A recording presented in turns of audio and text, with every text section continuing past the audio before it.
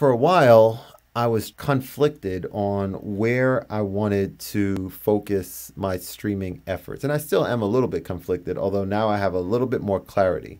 So the story goes I started live streaming on Reddit uh, maybe like two years ago now, or a year and a half ago, or something. Like I think last summer of 20, what year are we in? 2020. So last, we're in 2021. I know that, but I'm saying last year was 2020 so yeah, I started live streaming on Reddit, and it kind of blew my mind. It gave me an opportunity to interact with people across the world and uh, really um, practice playing the piano in front of people, in front of people, or for people, and something that I hadn't done really at all prior to that. And um, it was it just blew my mind how many people you can reach on Reddit um, and so I did a lot of, of streaming on Reddit over the past, I mean, I still do occasionally over the past year, year plus.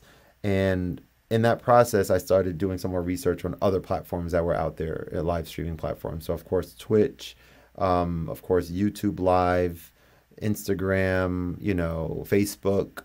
Um, there's some smaller ones like Trubify and Volume and all these other ones. And I, uh, I started streaming a little bit on Twitch and did some research and, and saw that, you know, some people were saying that Twitch, um, they were leaving Twitch for YouTube. And I was like, well, if they're leaving Twitch for YouTube and I have YouTube already, why don't I just stream there? Stream on YouTube. I already have an audience there. Like, why the hell not? Um, so I did that for a little bit. And it, Twitch and YouTube are, are still so different. Even though YouTube has live streaming, Twitch is for live streaming, for live streamers, and it has tools and things there in place like raids, like streamer song lists, like bits, like all these things that are there that are kind of like missing in action on YouTube. Um, and so I became an affiliate on Twitch.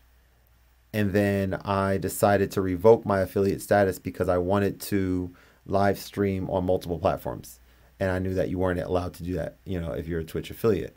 And so I did that and then started streaming more on YouTube and Trubify, this app that I'm multi-streaming on right now, that I think Trubify is, is amazing. The only thing that's missing there is just the audience, but it's it's a new app, so I think the audience will come, uh, you know, with time. But their payouts are incredible um, compared to some of these other platforms.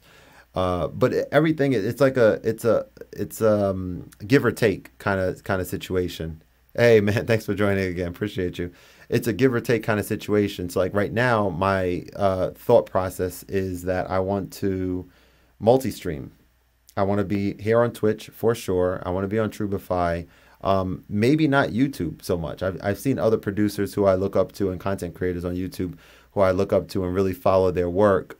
And um, and I see them live streaming, uh, you know, on Twitch. And I asked some of them, I said, hey, you know, I'm just out of curiosity, why not? Why not stream on um, on YouTube where you have your audience already? And their response was very similar to the reason why I stopped streaming on YouTube is that it's not really. I don't think it's great for live streaming right now. People don't really use it that much for live streaming, from what I can see, uh, unless if it's like you know, Lo-Fi Girl or one of those types of things. Um, so that's where that's where this takes me. Right now, I'm excited. You know, I, tomorrow I'm going to spend some time getting a schedule together for my live streams. I want to. I have. You know, I'm blessed that I have some time to kind of you know dedicate towards this. So I want to kind of go in on it a little bit. I, I can do it. I enjoy doing it. So I want to you know do this whole one percent better each time thing and kind of implement something new each time and uh, and meet people like Anthony here. Appreciate you joining and joining back, bro.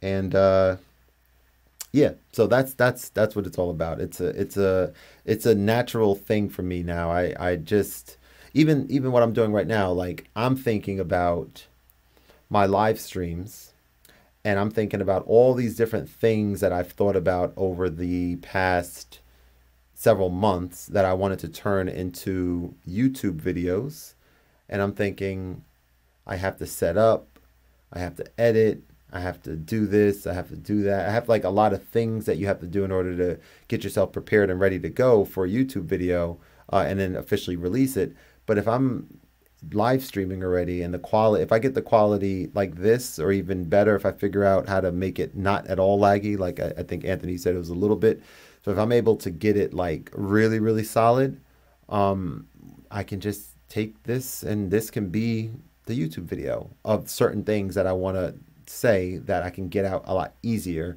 um, from just repurposing content so yeah this is exciting i'm excited for it uh, and yeah. Okay. now it's time to get back to some music.